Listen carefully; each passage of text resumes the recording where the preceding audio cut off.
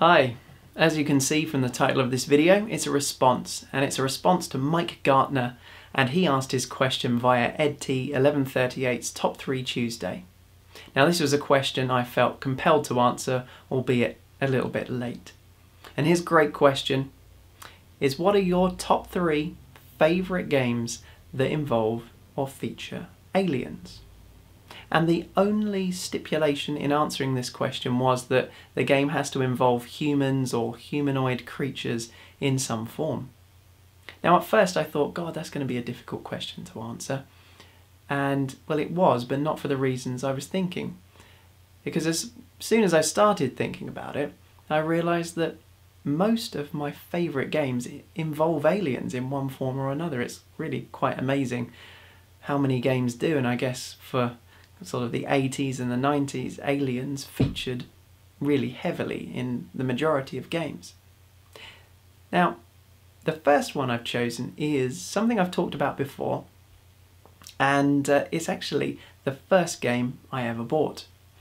And it's this one, Citadel, on the Acorn Electron, but it's also available on the BBC Micro.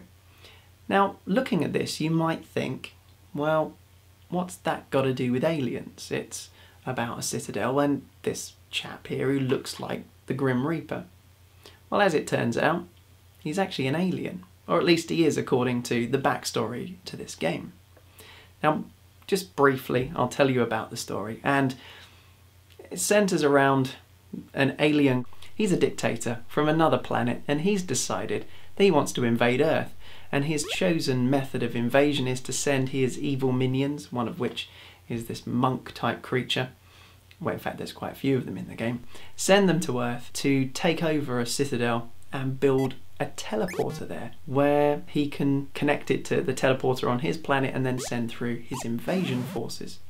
Now, it seems like you're the only human who can do anything about this, and your task is to go around the castle collecting things, solving puzzles, so you can eventually teleport yourself to the alien world, destroy their palace, and come back and destroy the teleporter before they can send through anyone else to uh, to Earth.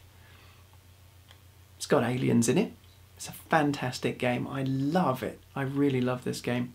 So I've decided to put that one at number three. Now, Number two is something that, well, those of you that know me might have thought, well, that would be your number one, wouldn't it? Because it's something I've talked about numerous times, told you that I really love the game, and it's, of course, Space Harrier. Yep, there's aliens in it, there's a human in it. Brilliant game, fantastic, beautiful on-rail shooter. I mean, the Sega Master System version is nice, but obviously I'm thinking more in terms of the arcade game, but I don't have that to show you, unfortunately. God, I wish I did. But, yeah, I, I love this game.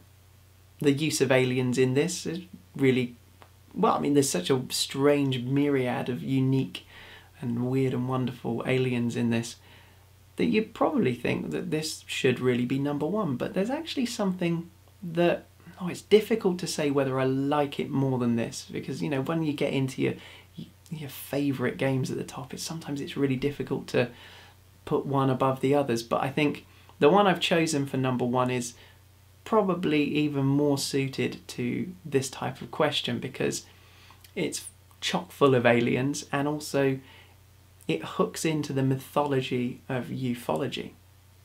Hmm. So what could that be? Well, again, something else I've talked about recently, and it is UFO Enemy Unknown. And this game is a fantastic turn-based strategy game.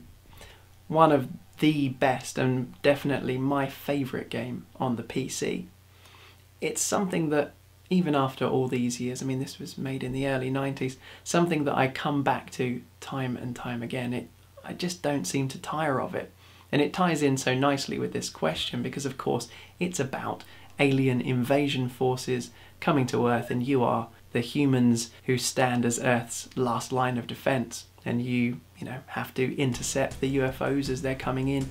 You have to go to the crash sites and destroy or capture the remaining aliens. You have to learn from their technology to develop new weapons to, well, basically defend yourself against the ever increasing forces that are, that are coming to Earth and eventually go to their planet and kick some Martian butt.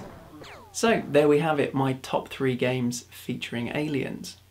So thanks very much, Mike, for asking the question, and thanks to Ed for allowing him to do so because now I know who he is. So from my spare room to wherever you are, this is Simon signing off. Bye bye.